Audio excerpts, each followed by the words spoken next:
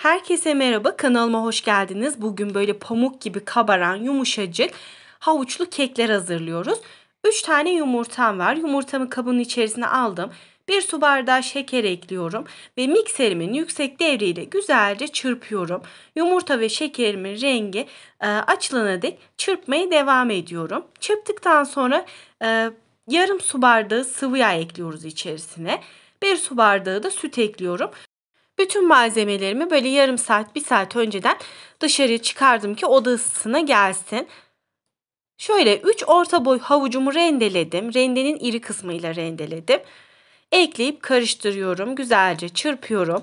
Daha sonra şöyle yarım su bardağı iri şekilde parçalanmış cevizim var. Cevizi de ekledim içerisine. Bir çay kaşığı tarçın ekliyorum. Eğer tarçın kokusunu daha böyle baskın seviyorsanız daha fazla ekleyebilirsiniz.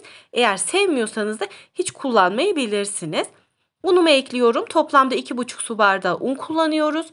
Ee, ilk önce yarısını bir ekledim. Güzelce karıştırıp çırpacağım.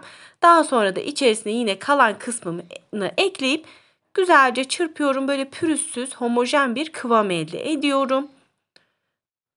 Bu aşamaları mikserle yapmanıza gerek yok. Böyle direkt elinize karıştırabilirsiniz. Son olarak şöyle bir paket kabartma tozu ekliyorum. İsterseniz bir paket vanilya da kullanabilirsiniz. Kabartma tozunu da şöyle güzelce karıştırdıktan sonra kek harcım hazır.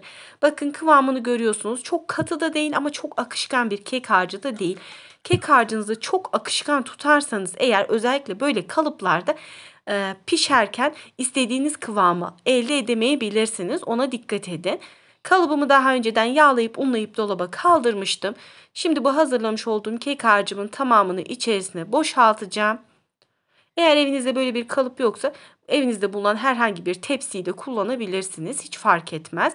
Şöyle hafif sallıyorum. Birkaç kez tezgah vurup önceden ısıttığım 180 derece fırında pişiriyorum. Pişme süresi fırınınıza göre değişebilir. O yüzden kontrol ederek pişirin.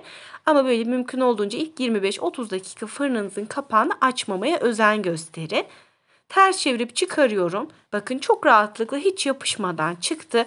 Kabarmasını da size şöyle göstereceğim. Bakın gayet güzel kabarık kocaman bir kek oldu. Şu anda kekim ılık, ılık haliyle böyle dilimleyip size göstereceğim.